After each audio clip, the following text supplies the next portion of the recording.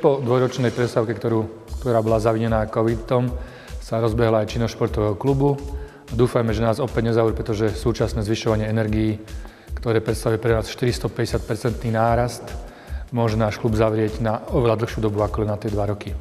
Takže A družstvo v tretej lige zatiaľ na prvej priečke s veľkou šancou na postup do druhej ligy a B družstvo pôsobí v 5. lige, oblasť Žiar nad Hronom na, zatiaľ na 7.